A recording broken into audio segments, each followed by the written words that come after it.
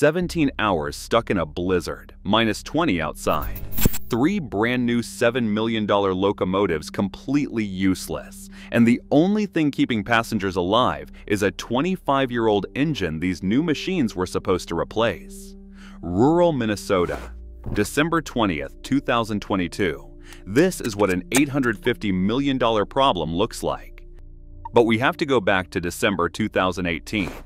Amtrak writes a massive check to Siemens Mobility, $850 million for 125 brand new locomotives. The ALC-42 Charger. These were replacing the P-42 Genesis that had been hauling trains since 1996.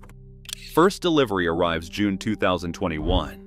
By February 2022, Amtrak put them on the Empire Builder, running from Chicago to Seattle and Portland through some of the coldest territory in North America.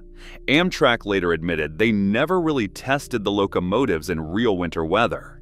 No testing chamber could replicate what the Empire Builder actually goes through, so they simply put them on the route with paying passengers. February 8, 2022. Chicago Union Station. A big launch, cameras everywhere, everyone smiling. The positive train control system refuses to start. Engineers work on it for more than an hour. Nothing happens. Amtrak pulls a P-42 Genesis built in 1997 and places it on the front. The brand new locomotives leave Chicago, being led by a 25-year-old engine. Four days later, the eastbound train departs Seattle. The same positive train control problems persisted. Near Sultan, Washington, it collides with a pickup truck at a crossing. The train arrives more than six hours late. Two runs, two different problems. Amtrak keeps using them. We have to go back to December 2022. Weather forecasts show temperatures dropping to minus 20 degrees Fahrenheit and minus 30 degrees Fahrenheit across North Dakota and Montana. Wind chill hits minus 46 degrees Fahrenheit. At those temperatures, exposed skin can get frostbite in under a minute. BNSF Railway starts implementing emergency procedures. On December 17th, Train 7 leaves Chicago with three Chargers and one old P-42 trailing behind. By December 18th, it is two hours late. At least one Charger broke down while crossing the Continental Divide. On December 19th, it reaches Sandpoint, Idaho, seven hours behind schedule. The dining car water lines froze. There was no kitchen, so Amtrak broke out emergency beef stew. Passengers in first class who paid more than $1,000 received the same stew as coach passengers. The train reached Spokane six hours late, with snow inside the locomotive cooling compartment. Siemens said that was not a problem, but the locomotives kept breaking down. December 20th, Train 8 departs Seattle heading east three Chargers up front with one P-42 trailing. It gets through Washington and Idaho fine. It crosses into Montana and the temperature drops way below zero. Somewhere in rural Minnesota, all three Chargers stop working at exactly the same time. The oil system froze solid and the locomotive just gave up. No head-end power means no lights, no heat. No traction power means the wheels will not turn. Three locomotives, each worth $7 million, were just sitting there useless. The P-42 trailing behind keeps running fine. Passengers have heat and electricity.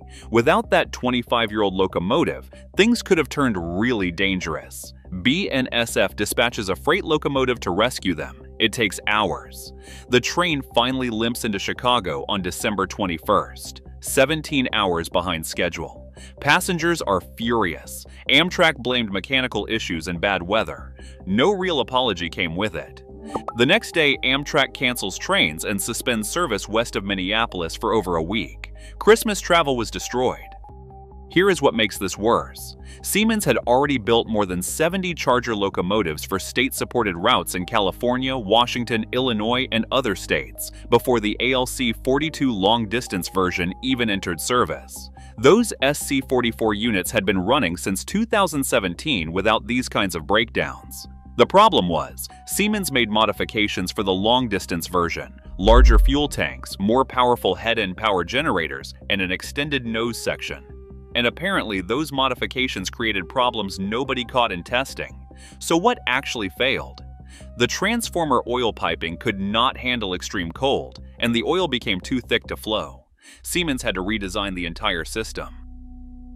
The dynamic brake filters let in light, dry snow, causing electrical faults and shutdowns. A Federal Railroad Administration spokesperson said Siemens did not expect this kind of Midwest snow, which is remarkable when you are building locomotives for Midwest winter routes. The positive train control system could not reliably connect with freight railroad systems. Diesel exhaust fluid freezes quickly, and when that system stops working, the whole engine can shut down.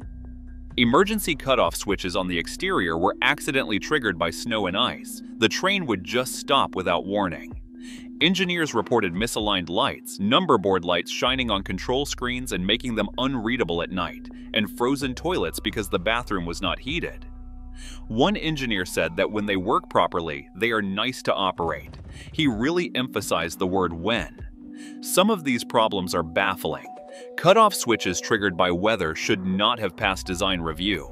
The toilet froze because there was no heat in the bathroom. The exhaust fluid system was not protected against cold, even though these units were built for some of the coldest routes in America. Contemporary reports say Amtrak sent Siemens at least 70 design changes over the following year. That is not normal teething problems. That is a fundamental mismatch between design and operating conditions. Amtrak basically admitted they used real passengers to shake the problems out. They did it with paying passengers rather than during isolated testing. The Charger had gone through extensive testing before passengers boarded. In June 2016, there was testing at Pueblo, Colorado. In September 2016, there were high-speed runs on the Northeast Corridor hitting 135 miles per hour. In February 2017, there was testing in Washington and Oregon. But none of those tests involve sustained operation in minus 20 to minus 30 degrees with blowing snow over days. Amtrak admitted there is no testing chamber that replicates what the Empire Builder experiences, so they used passenger service as the test. People bought tickets, and locomotives failed repeatedly. Siemens is German, and Germany gets winter. But the upper Midwest gets sustained sub-zero temperatures for weeks with dry powdery snow everywhere and wind chill that is dangerous for outdoor work. The Federal Railroad Administration spokesperson was blunt. Siemens did not anticipate the type of snow they would encounter. We have to go back to February 2024, two years after that disastrous debut. Amtrak says the locomotives are finally working right, four times fewer failures that winter, better reliability than the P-42s they are replacing. 52 were delivered, 46 are in service. But the exhaust fluid still causes problems. Cutoff switches still get triggered. Toilets still freeze. The locomotives run on nine long-distance routes now. Amtrak is taking all 125. These are supposed to run for 30 to 40 years. Whether they will ever fully earn that trust is still up in the air. The P-42 came from the 90s, and it just kept going. On December 20th, 2022, one of those old locomotives kept passengers safe, while three brand new $7 million machines sat frozen in Minnesota. Some engineers still say they would rather have the old ones. Claude is AI and can make mistakes. Please double check responses.